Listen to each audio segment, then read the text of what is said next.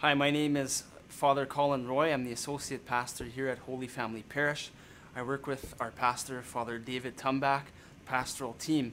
Just a word of welcome to you this week. Uh, I just want to, to invite you and let you know that you're welcome to, to come to our parish at any time. Uh, our Sunday liturgies are 9, 11.30, and 6.30 p.m., so come check us out. Uh, this weekend we're having uh, a wonderful gospel reading in the liturgy, and it's the parable of the rich man and Lazarus.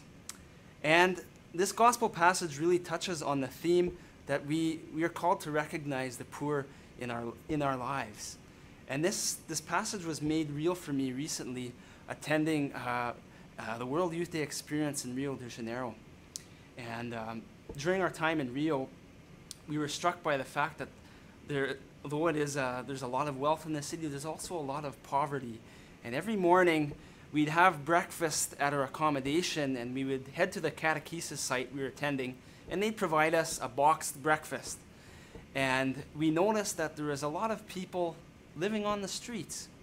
So we would, you know, we would pick up this boxed breakfast and hand them out at the end of the day because we knew they were in need.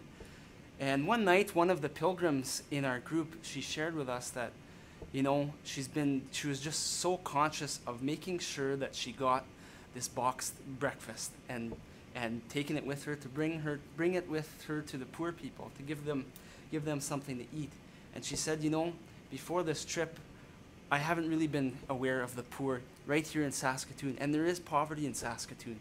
It's around us. And she said this has reminded me that you know what i need to be conscious conscious of this when i head home. So her sharing struck me and it made me think how conscious am i of the poor in my own neighborhood, right in my own backyard.